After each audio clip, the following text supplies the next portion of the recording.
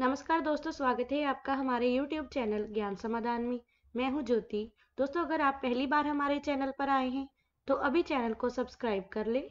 दोस्तों, आज की इस वीडियो में हम बात करेंगे कि वृषभ राशि के सभी जातकों के लिए कैसा रहेगा जनवरी का महीना। तो चलिए दोस्तों, जानते हैं।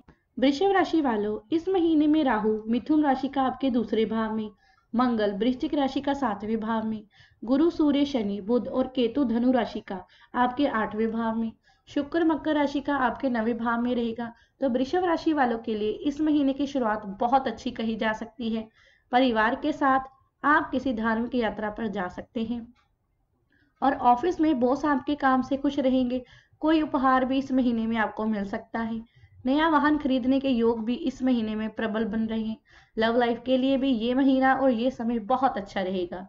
बिज़नेस में स्थितियाँ आपके पक्ष में बनती नज़र आएँगी। नई योजना और निवेश की भी संभावना है।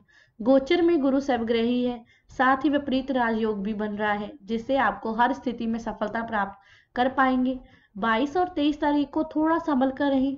वाहन आदि इन तारीखों में संभल कर चलाएँ और इन दो दिनों में ही विद्यार्थियों का मन पढ़ाई से भटक सकता है।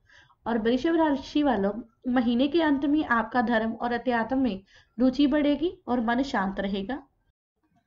दोस्तों, अगर आपको हमारे द्वारा बताई गई ये सभी जानकारी पसंद आई हो तो आप ज्ञान समाधान चैनल को लाइक, सब्सक्राइब और शेयर करना ना भूलें।